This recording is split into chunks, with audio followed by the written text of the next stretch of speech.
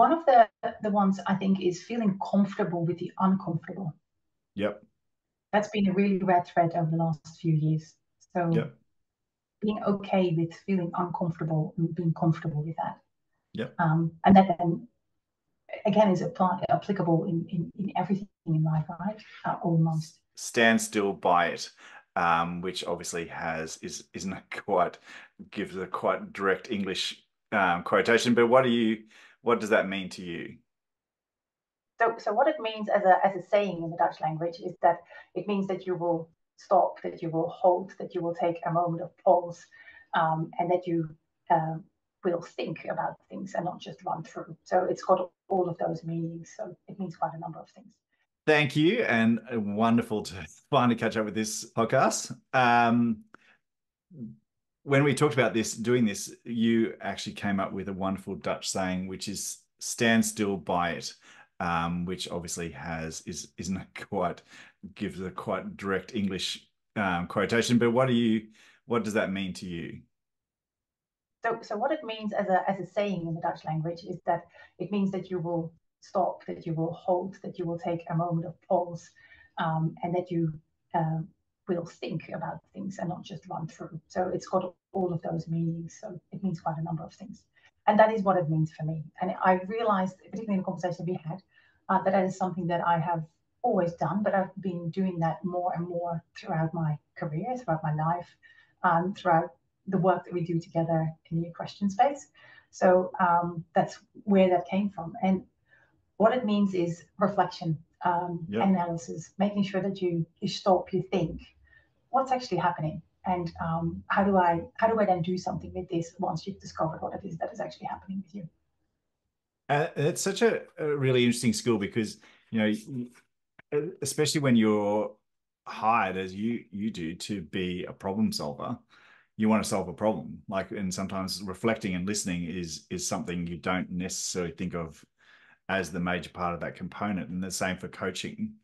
You know, sometimes listening and reflecting isn't you you you hardwired to want to solve it and jump in where sometimes you don't always have all the data there. Yeah, absolutely. And discovering that data, either internally for yourself or hmm. externally in your environment, as you just said, with the role that you have, um, it makes a massive difference. Um, stopping stopping also the thinking in your mind sometimes. I don't know if that goes for everybody, but yep. definitely for me.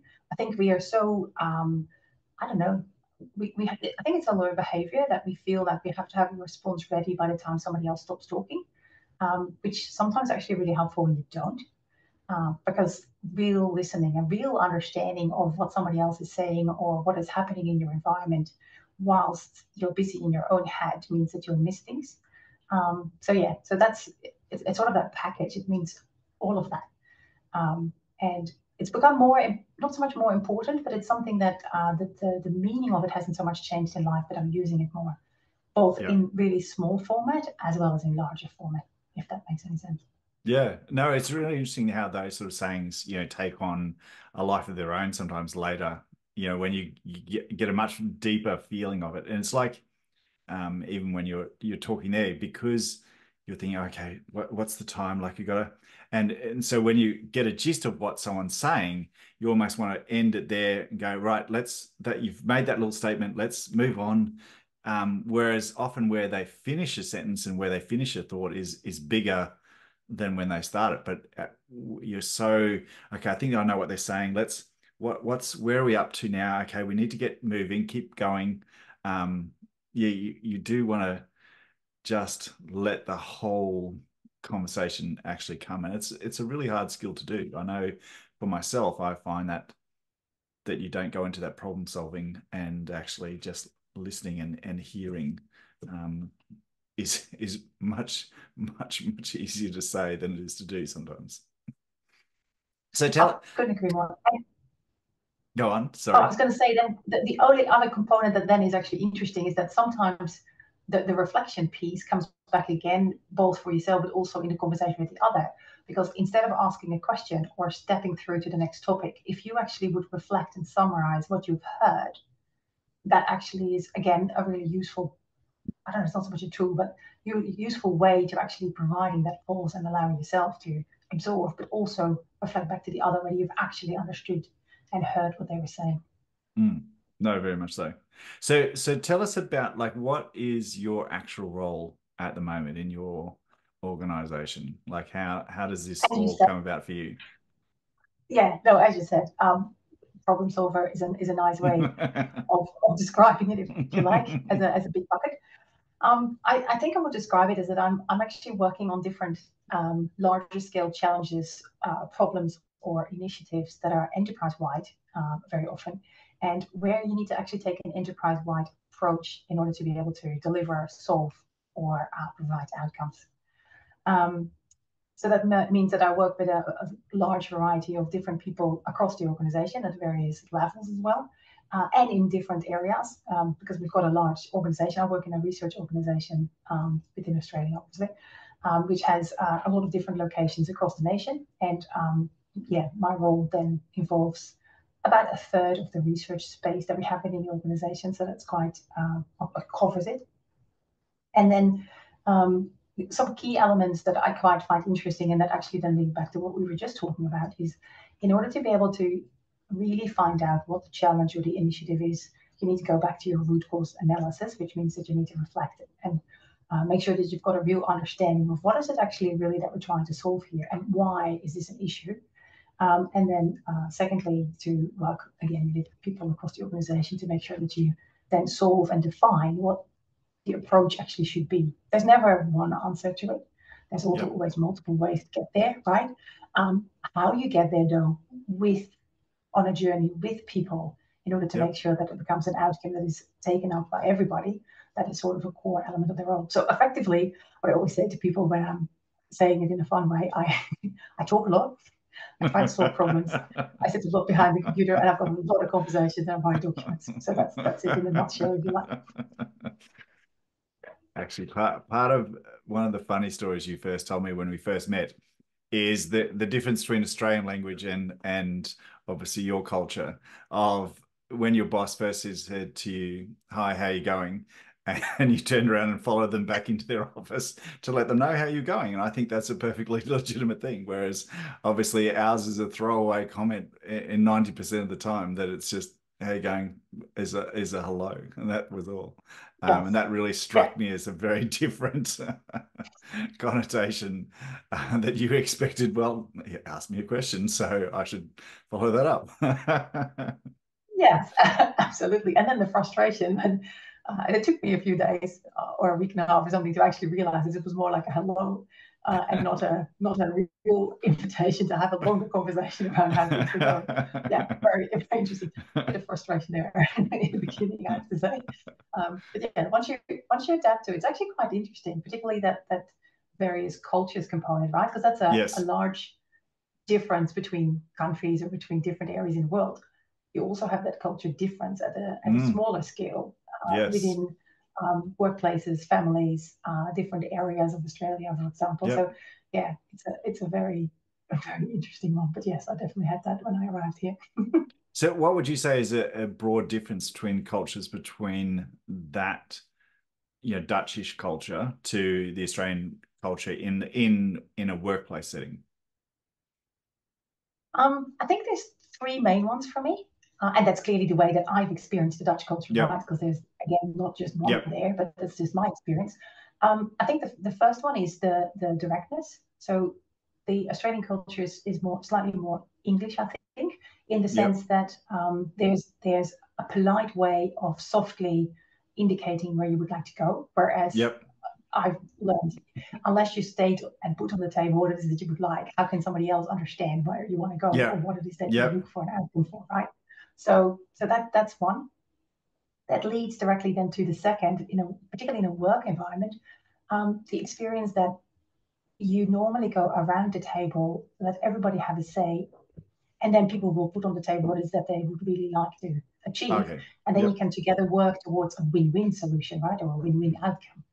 Whereas um, my experience, it's, it's getting better, but my experience originally here was that sometimes the person who speaks loudest or who speaks fast Uh, yes. It's very yep. easy to go with that kind of a solution.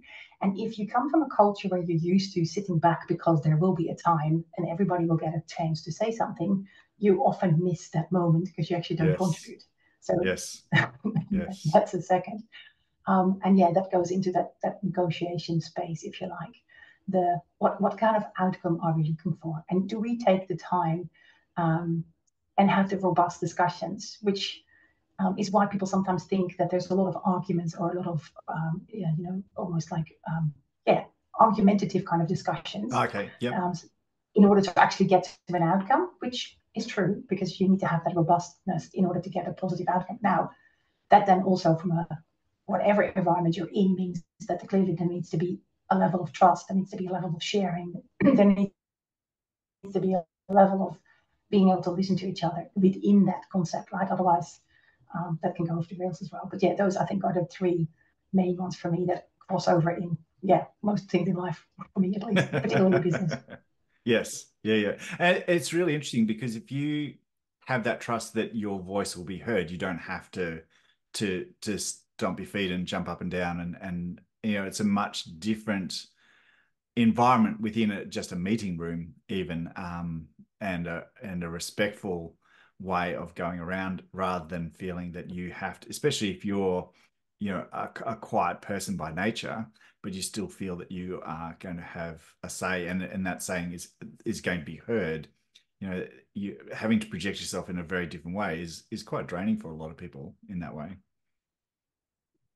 Yes and and particularly in the area that i work in right lots of researchers they tend to be um, i mean that's proven more introverted yes and they therefore have more of a kind of a thinking approach would like to see things beforehand analyze reflect etc um, being an extrovert myself uh, that's an environment that is actually quite interesting to find your way in, if you like. Um, so on lots of levels, but uh, really enjoyable though, I must admit. Um, yep. Yeah. Yep. Um, so then, with you being a little bit more of an extrovert, how do you find initially going into a room with with introverts that you that can be very quiet and and sometimes certainly with certain introverts you know hard to engage. Doesn't mean they don't have something to say they're sometimes less likely to be drawn into like you have to draw them in, in in a really trusting way to get that conversation going and to maintain it and then to let it grow from there. Key one is um, making sure that you are prepared and making sure that you have allowed others to see things beforehand and therefore that there is it, it, you know the brainstorming environment is not always the best for that. Unless people know it's going to be brainstorm but otherwise make sure that there's something that, that people know what you're going to talk about share documentation beforehand if you can. Um, and then yeah i've learned along the way making sure that when there's a silence don't wait three seconds but you actually give people time to reflect and you actually make sure that everybody can be comfortable with silence because yep. that's actually important. People need time to think. Um, and thirdly, making sure that you ask questions. Right? It's it's real easy to then try to fill up the, the space and fill up the conversation, fill up the meeting with um, solutions, with approaches, with suggestions. Whereas just ask the question and take people along on the journey. Yep. Um, and surprisingly, or maybe not surprisingly, but it's super enjoyable. Well, nowadays I find that mm-hmm. um, how, how rich the conversations can be. Yep. If you just take the time to what we said earlier, listen, genuinely listen, yep. and not have that feeling that you need to drive, fill up, um, make sure that the conversation is going. Because the conversation is going. It doesn't always have to be just through words. You yep. know, they, they, things will happen. So yep. yeah, listen, reflect, prepare uh, and make sure that you position what it is that you would like um, out of the conversation or ask questions. So, did you have, like, in terms of that way, did you have someone that you looked up to that that really you went, oh, that's that's a really good way of, or was that did you evolve mostly through just watching, observing, and and doing? Um, you know, how how did it work for you especially as an extrovert like silence for extroverts is is like a dagger to the heart so, so, whereas for an introvert silence oh yay thank goodness yes exactly um i uh, there's a few people that i've hmm. i've i've seen throughout the years that i've um, learned from absolutely yep. numerous ones um, and I think you you learn through um, through through doing and through realizing that you're actually not achieving the outcomes that you're aiming to achieve, right? Yeah. Um, so if you've if you've got a conversation, I find that nowadays, if if I've got a meeting or um, uh, a number of people coming together to actually have a conversation about something, and I'm the one who's mainly talking, the and it reflects back to the role that I have. The point of my role is that I'm actually facilitating a process yeah. and I'm facilitating an outcome, right? So I'm not the one necessarily who's uh, coming up with exactly what we need to do. The the yeah. whole point is that people around me um, actually find that outcome because otherwise, ultimately, I will move on to something else, and they yeah. actually are still there to actually continue to work. So if it's not in in a joint outcome, then it, it's never going to work. Yep. So when you've got those conversations that you're the only one talking, at the end of it, uh, even though it's lovely as an extrovert to have lots to talk about, not, not, the outcome that you were after. Yeah. So if you do that often enough, you you well, I reflected on that, and it's it's made me realize that um, then observing others, uh, and if you observe good facilitators, they do that right. They have lots of of, of silence uh, and yep. good questions in order to actually engage people, because that's the second component that sits with it. Just only having silence, there's a there's a limit to that as well. And yep making sure that you actually ultimately feel comfortable with it.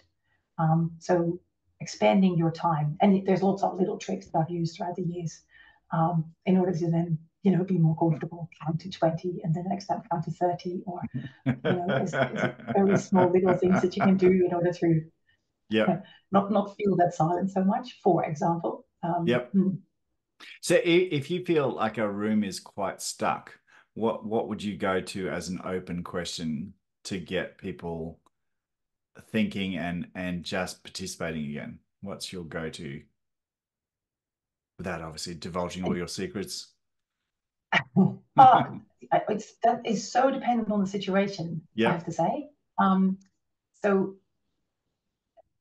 I make sure that when I start a meeting that I've got three or four key questions and I've thought about what it is that the outcome is that I would like to see at the end of the conversation. Yep. Right. And I'm very open about that very often. Um, yep. Not so much, um, yeah, particularly around the kind of questions that you ask. Make sure your question is an open question. That's a yep. almost a no-brainer, right? Um, and then when people get stuck in a conversation, you can do a couple of things. It depends on the, the, comfort of the room and how comfortable people are with each other. But if it's a group that's been coming together um, a few times, for example, you can um, either call out, so is there any other thoughts? Have we actually captured anything, everything? Yep. Uh, the other one is to preempt early in a conversation where you know this is a group that is going to be quite quiet, that you're going to call out names because you would like to have input. Um, and then you need to make sure clearly that your questions are coming from an angle um, and, and are open enough that people can respond to it from their background. Because that's oh, often okay. what, yep. what I do, right? Yep. We we bring different areas of research together to have a conversation around, for example, developing a strategy uh, around health across the organization yep. and where we should go as an organization within the Australian ecosystem. Yep. So then, if you bring different people together from that um, who are contributing to that, you've got a wealth to talk about as long as you open up and, and get them to contribute where they think it needs to go or where they're working at the moment and which elements of what they do contribute to this kind of concept. Um, so that's really knowing. And then if background. it really, really doesn't work, yeah. And if it really, really doesn't work, right, I'm really um, easy in that perspective. Sometimes I just say, say, all right, so our conversation is not going at all today. Let's shift. Totally different topic. Let's go okay. and talk about something else. Yeah, yeah. Right. Absolutely. Yeah, being um yeah, being being human, I think it is, or or or yeah. Um, I don't have all the answers. Yeah. Um, not at all. So I don't feel uncomfortable putting that forward. Um, because sometimes showing that to people means that it's, it's an invitation for somebody else potentially who has ideas around it to actually then bring them to the fore. So showing that you can be vulnerable and you don't Yeah. have all the answers. Yep. Have you always Absolutely. had that, or that's a growth thing for you? No, that's a growth thing. That's a Um, growth thing. I've, I've, yeah, where I felt comfortable and in private situations, I think I've had that most of my life. Yeah. Um, using, utilizing that, and and actually being able to do that in um, much broader, um, yeah, both in in in more in public as well as in business or in, Yeah. in my day to day work. That's something that has evolved. No, that's really, really interesting because that's, I think that's one of the hardest things, you know, when you, especially when you're going into a room where you're sort of expected to to know or to divulge or to have an answer for something, to to actually show vulnerability and say, you know, this isn't one, it's not about me, it is about you guys, and but also then to go, I don't have all the answers in this moment either, you know, let's let's mix this up a little bit. That's good, and I think yeah. I was going to say, I think what, what's been really um, interesting is that working in a research organization for this long, um, I've worked there for, for quite a long time, has really taught me that, you know, if, if you go into the content or if you go into the research areas, I mean, it's really humbling because Yeah. I actually, I don't have the answers. I don't know. And Yeah. also seeing that if you bring people together um, who are enthused and who feel like they can actually make a difference by what it is that they do, you know, um, uh, making sure that we um, work on, on stopping the, the, the, the bleaching of the coral reef, for example, or um, uh, pollution of plastic, right? The, the the passion of people and then the out of the box Mm. thinking and the Yeah. number of ideas and suggestions that are coming forward, not stifling that by Yep. you thinking that you need to know. Yep. Oh my God, that makes such a difference. So yeah, and, and then it doesn't matter, right? Because because together we know so much more and we can come up with Yes. such better solutions than Yep. any person on their own can. Yep. It, it takes a little while to to allow your ego to, and not not that you know, but we all have a, an ego of some sort, or ninety nine percent of us do, and it doesn't like feeling that you're just about to be squashed in a public, very public setting. Um, but yeah, like often the best things come from a seeming stumble or failure if you are okay with going, well, that didn't work, let's do this. Um, and that's, you know, I often find in, in coaching with, especially with equestrian, you go, we're going to try this. It may work, it may not. Well, the best intentions is it, it, it should, but we'll get some data from it that tells us a little bit more and we can go from there. Whereas if you think of you must do this because this will work and that's the only thing possible, you've really backed yourself into an emotional corner. Very, Yes, very hard. Absolutely. and it's a really interesting interesting one because it absolutely applies in the equestrian world as well, right? Mm. Probably with any sport, but yeah. um, yeah, Yeah, sport in general. applies Yeah. here. Not that not that you'd ever get emotionally backed into a corner, obviously, ever. Because because you're, you're you're way wiser than that. yeah. Because that that was the other thing no, I think that was the other thing that I really loved that you talked about as saying, you know, what does this do by me? Um, and that's such a lovely little saying as well. Um, obviously, it's slightly different, um, you know, language for us, but but exactly what it means is is is that of, you know, how am I reacting to this, and is that necessary, basically? yeah, absolutely. And and if you apply that to the equestrian world, right, you can do that to anything. Yes. Uh, we're all human. You feel pressure. So so why? Um, Yeah.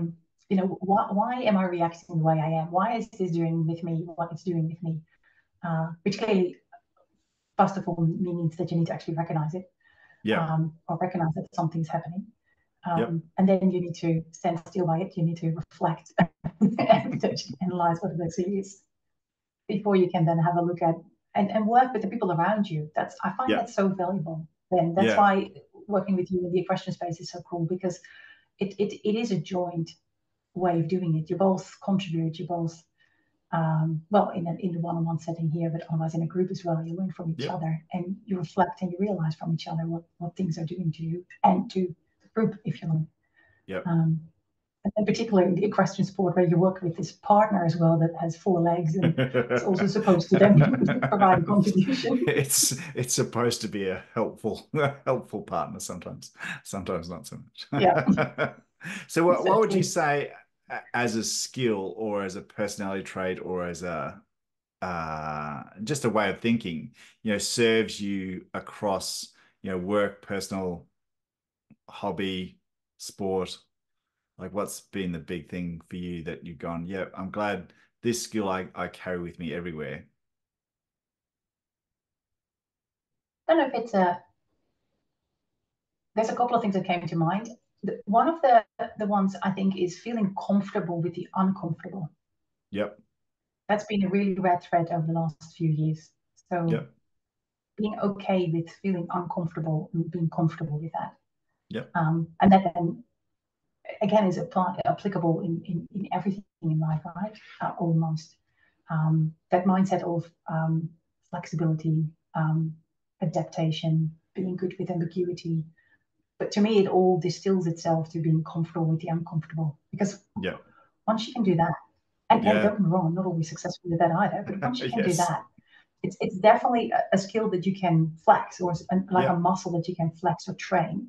Yes. Um, and the more you do that, yeah, the, the, the, the less you have to block your thinking or have that non-breathing when you're doing things or uh, feel when you come into a room that the pressure is new and it's all because of you. I mean, yeah, the more you can actually so yeah. again feel comfortable with the uncomfortable, the, the the easier most things actually get. No, that's a wonderful, really wonderful one. I love it. Love it, love it, love it. So when when you're in the depths of the desert, four wheel driving, feeling uncomfortable, comfortable, and just being. I think that's you know those trips that you guys do is that perfect thing of preparation, but then once you're out there, then you're just in the moment, and you just got to be flexible with that moment. So all that preparation that you guys do, and and sometimes when you first start that journey, you go, oh, you know, have I have I done everything? Should I do anything more? You know, what what could maybe happen? You know, it's still what a whole series of what ifs. But once you get out there and relax and go, well, this is it is what it is now, and and just sink back into that. Do, do you ever feel what's what's your area like? Is is a, doing a trip like that into a very remote area? Is it you know riding? Is it a workspace that can make you feel uncomfortable, or just little bits of everything? It's little bits of everything, and and um, comes back to that preparedness, reflection, and then solution, and that you need to know your the be comfortable with the uncomfortable, and you need to know your limits, and particularly with that full driving. Yeah. Um, so you, you can. So what we do is, is we really prepare, right? We've got three or four uh, reserves of literally everything you can think about in a car that you might need. We've yep. got fuel, um, where, where, where we've got a, a long range tank, but then we have an additional eight liters as a minimum we've got enough water and enough food to last at least two to three weeks. So, so we're really, really well prepared. Yep. Um, so if there's an issue with the, the car or there's an issue with, uh, you know, mechanics or um, we get stuck, we're, we're prepared. Now, yep. you always have the unforeseen, right? There's things that will happen or that could happen that you could not, yep. you can't actually prevent. That's the cool part of it as well, because it is an adventure. Yep. Um, however, it's a very well prepared and, and an adventure with uh, a low level of risk from a yep. we can do anything if something goes wrong. Whereas going through the Simpson Desert for a number of days where you don't see anybody for a little while, uh, that's clearly for some high level of risk, right? And if you go and do that four driving, for example, what then becomes really important is that you need to know your limits. So yep. um, I have, the, the, I come from the Netherlands, right? So the Netherlands is a very flat country. There's uh, yep. uh, two or three uh, roads that are uh, not tarmacked um, that you can call off roads in the whole country. So it's not really something that that exists. So I've learned how to four drive or, or drive four drive in this country, yep. and yeah, the biggest lesson that I've learned from that, which applies wherever you go, know your limit. So if you don't know, make sure that you share that. So don't yep. don't push yourself. Um, yep. Particularly in a situation where if something goes pear shaped, that it's not the right uh, area to actually experience that, to learn that. And it's a bit similar the link back to the question is then if you work with a really young horse, right, you would not push that as much as you would push your horse that you've been working with for 10 years. Yeah. Um, just because you know your team's limit, whereas when you work with a new horse, you, you don't. So that's the same with riding. So if you feel you like to go 100 kilometers an hour, but you don't feel comfortable going faster than 80, go 80 because that's your yeah. limit. Yeah, no, that's and, that, that's what they always say. You always fall back to your proficiency of competency. Like you know, if if something goes wrong, then that's where you find out where you're actually competent at. Um, and that's always. And it doesn't matter. You know, they talk a lot about when um, in paragliding when people were first able to use radio to communicate with pilots in the air. And they thought, oh, I'll be able to get them to do things that they weren't competent to do because I can talk them through it. But you still reach a point where their level of skill hits the wall. They can't follow on. You know, their thinking can't keep up with what's being told to them anyway. Um, so you, you're always then going to fall back to that stage. If, if then something goes wrong at that point, they're going to come back to that level of competency that they're actually able to handle or do, you know, in an unconscious way. So that it's really interesting uh, as a coach. It's really interesting seeing, especially when you're progressing, as you said, progressing someone's skills. You know that they realize that this is going into their conscious thoughts, which means everything slows down, everything moves a little slower because you're just trying to think things. You, nothing is is natural in that point until it becomes an unconscious skill again, and then things speed up and off you go again. Yes, and and well, we've worked on that. You've you've taught me that or shown me how that works in our um, partnership with with the horse. It's amazing once you can then actually notice that yourself yourself, mm. uh, and then once you've learned that, seeing it in others and applying it yourself. Mm. It's been actually really useful because you can apply it anywhere. Uh, yes, yes. It's, it's, almost like the neural pathways, right? Um, we know from a scientific perspective that we need to develop neural pathways, and when you do something for the first time, your body sometimes can't do it. um, but then once you go up on those levels, um, yeah, you know, it, it, becomes almost a routine. You don't even have to think about it anymore. It's it's a little bit like that.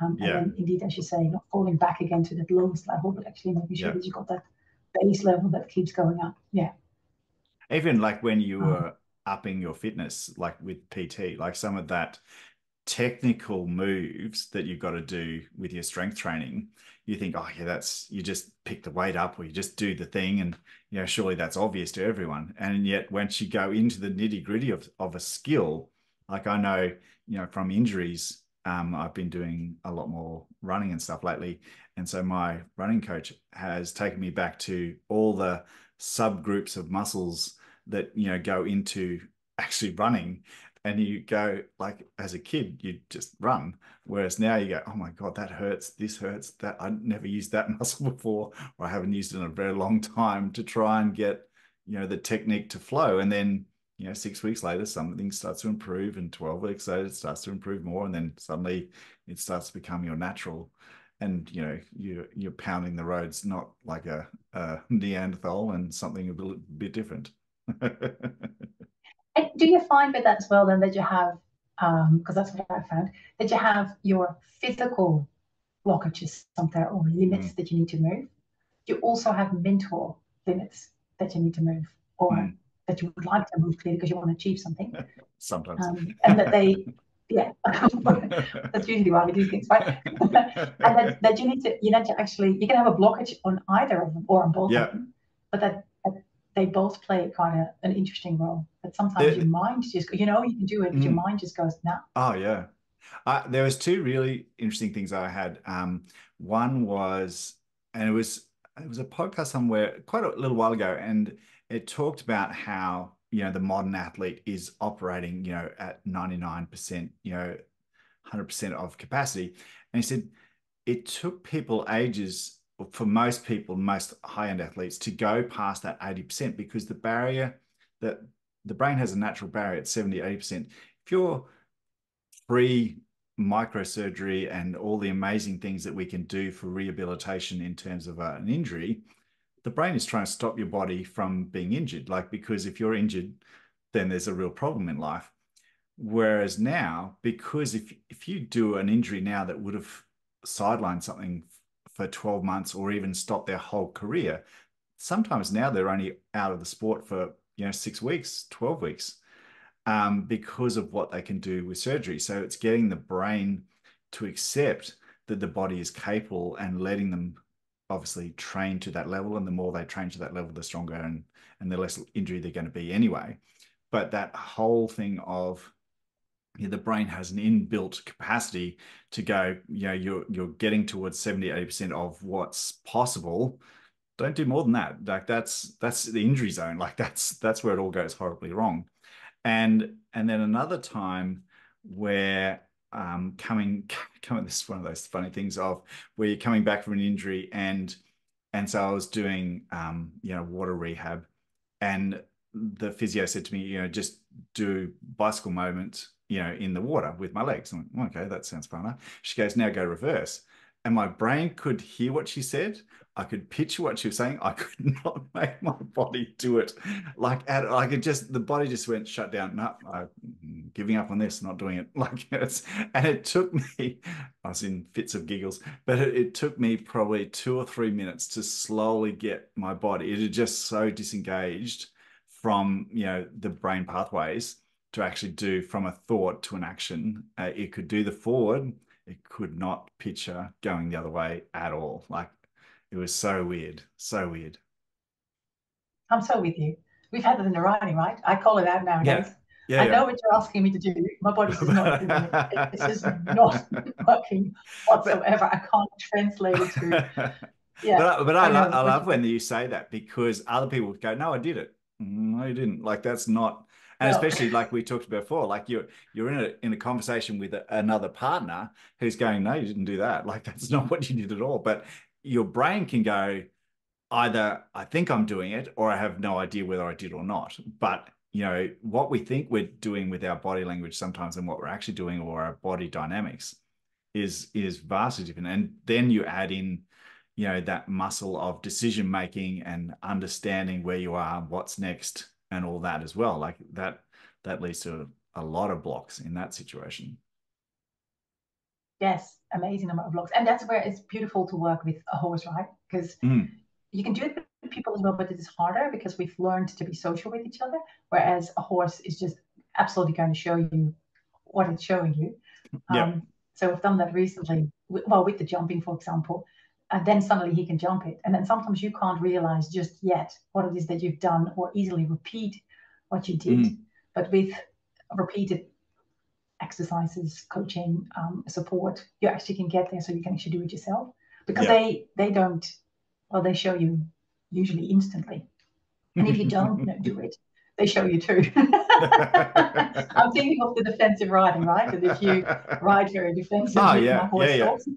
Uh, goes, even, yeah, even when you you're saying, I think I want it. No, I don't. Like the the unconscious brain's no, going, no, Like, yeah, exactly.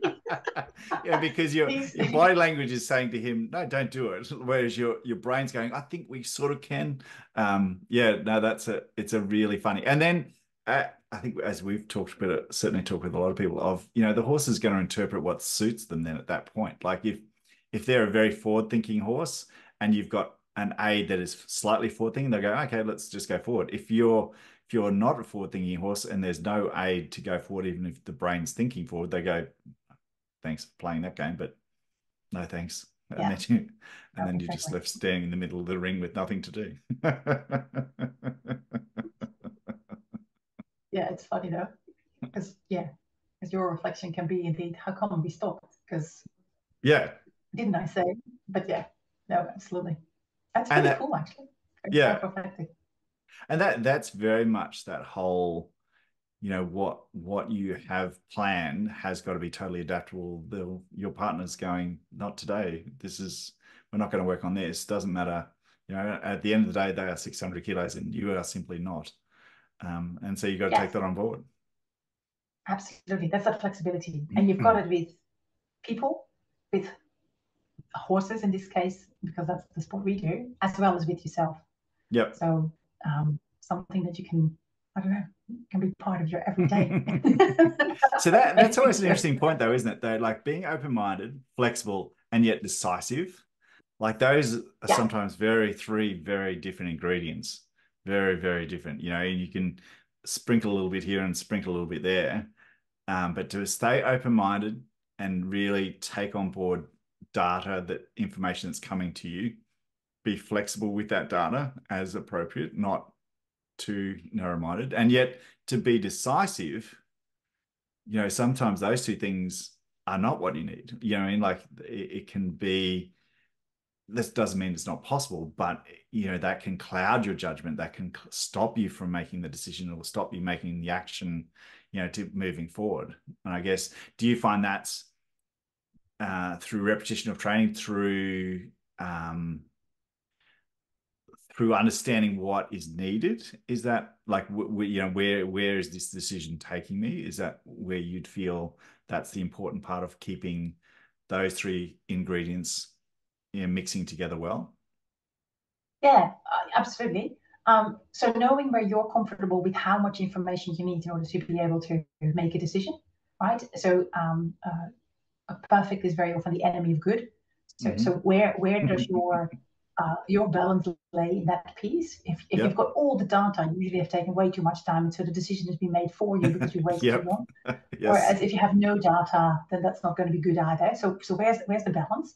Yep. And realizing again with that being comfortable with the uncomfortable, um, being comfortable with making mistakes, and then if you call out quickly when you've made a decision that actually wasn't the right decision, then that means that you can still re-steer the ship, and that goes for all three of the examples that we've mentioned again, right? Because if you're riding a horse and you've actually made a decision, but you're quick enough to realize that you've made the wrong decision, you follow through on how you change it, you very often can save it together. Yep. And yep. that's same goes when you work with people. Um, if, if you then decided, well, we're going this direction, and two days later you notice that's actually the wrong direction, change it. Don't yep. wait, change it. And and be, uh, depending on the situation and how appropriate yeah, it is, but be open about it and share mm. with people and go, hey, yeah, no, yesterday we said we were going this way. Now we know this and we're going actually this way. As long as you do it like that, usually, generally, people will come on board with you.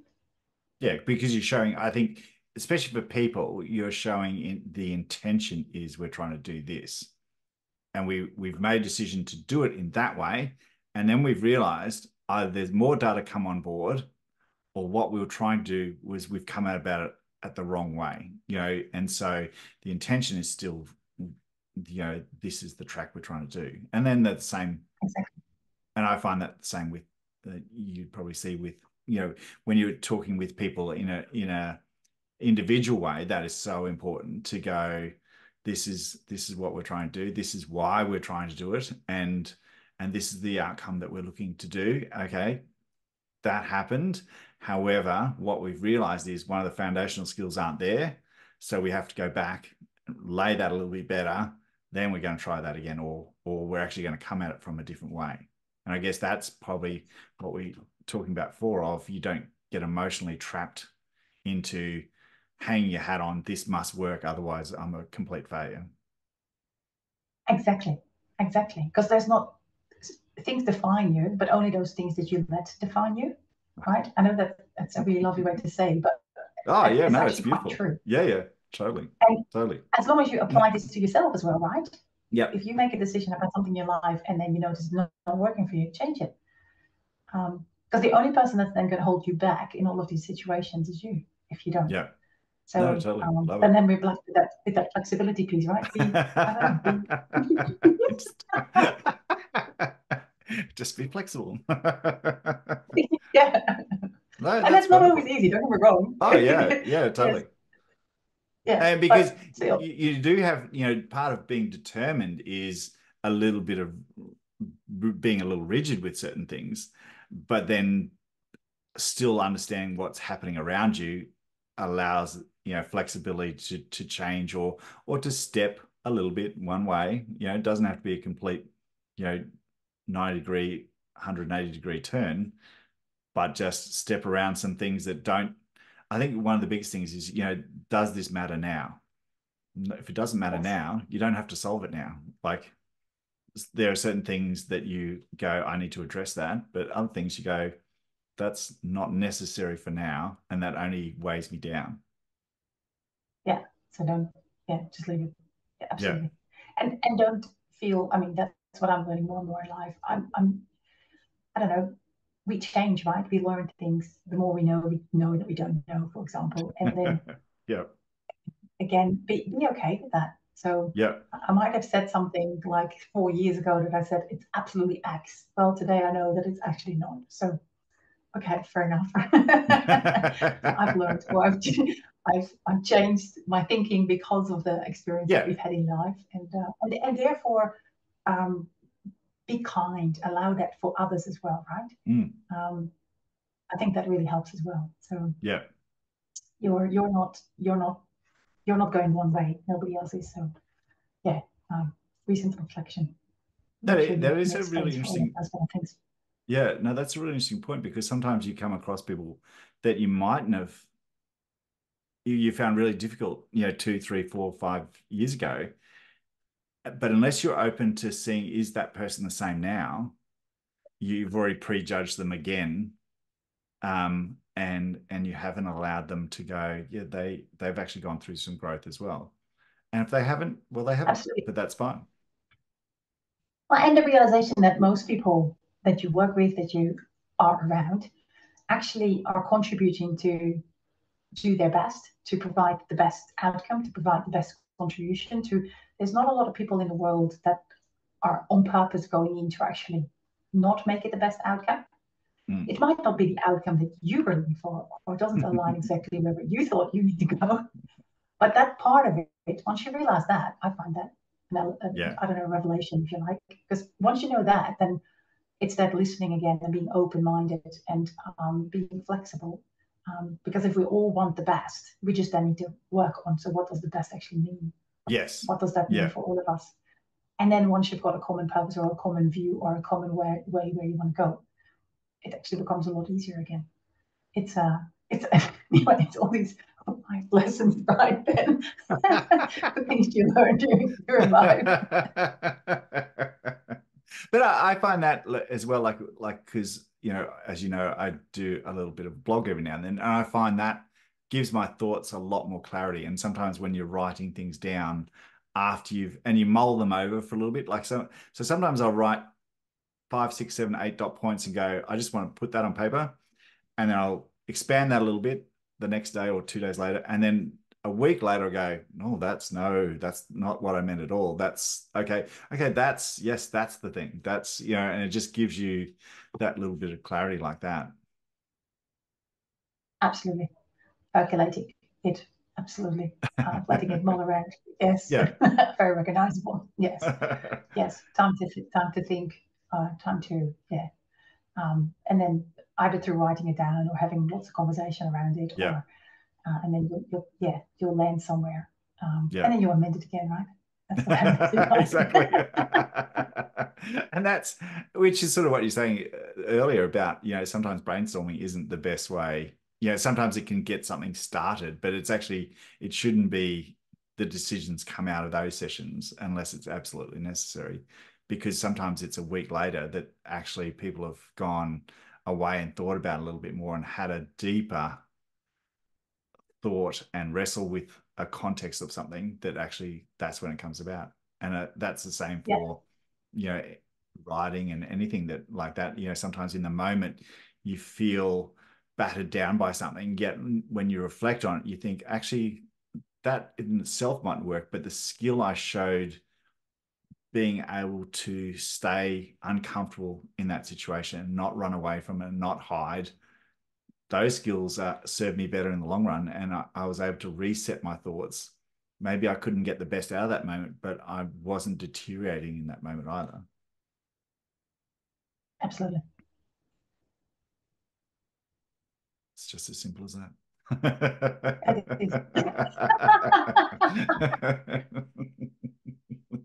so as as a le- leaving thought what would you say in all those ingredients that we've talked about, all those thoughts, all those passions that you have for different things, how do you stay open? How do you stay enthusiastic?